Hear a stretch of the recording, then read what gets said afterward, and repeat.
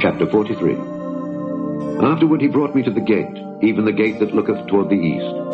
And behold, the glory of the God of Israel came from the way of the east, and his voice was like a noise of many waters, and the earth shined with his glory. And it was according to the appearance of the vision which I saw, even according to the vision that I saw when I came to destroy the city, and the visions were like the vision that I saw by the river Chebar. And I fell upon my face, and the glory of the Lord came into the house by the way of the gate whose prospect is toward the east. So the Spirit took me up and brought me into the inner court, and behold, the glory of the Lord filled the house. And I heard him speaking unto me out of the house, and the man stood by me. And he said unto me, Son of man, the place of my throne and the place of the soles of my feet where I will dwell in the midst of the children of Israel forever, and my holy name, shall the house of Israel no more defile, neither they nor their kings, by their whoredom, nor by the carcasses of their kings in their high places. In their setting of their threshold by my thresholds, and their post by my posts, and the wall between me and them, they have even defiled my holy name by their abominations that they have committed. Wherefore I have consumed them in mine anger. Now let them put away their whoredom and the carcasses of their kings far from me, and I will dwell in the midst of them forever. Thou son of man, show the house to the house of Israel, that they may be ashamed of their iniquities, and let them measure the pattern.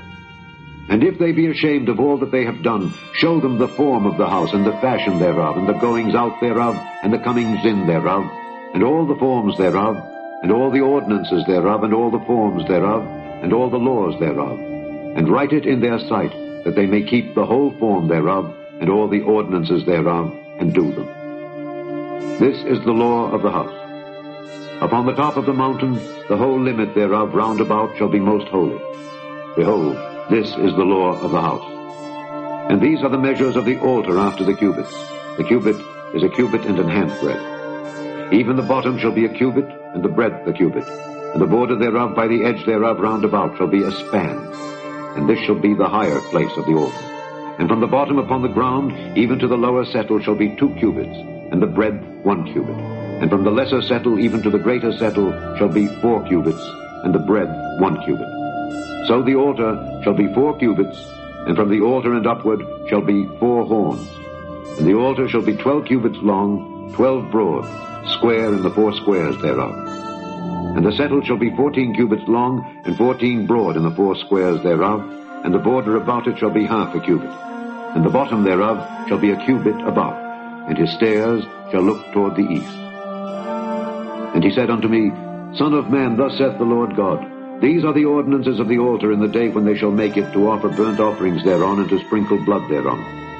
And thou shalt give to the priests, the Levites that be of the seed of Zadok, which approach unto me to minister unto me, saith the Lord God, a young bullock for a sin offering.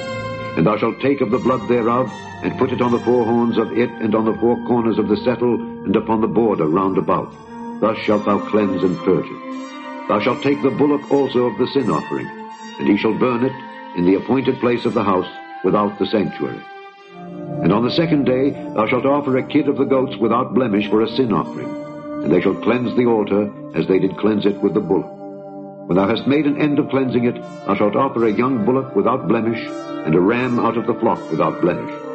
And thou shalt offer them before the Lord, and the priests shall cast salt upon them, and they shall offer them up for a burnt offering unto the Lord. Seven days shalt thou prepare every day a goat for a sin offering.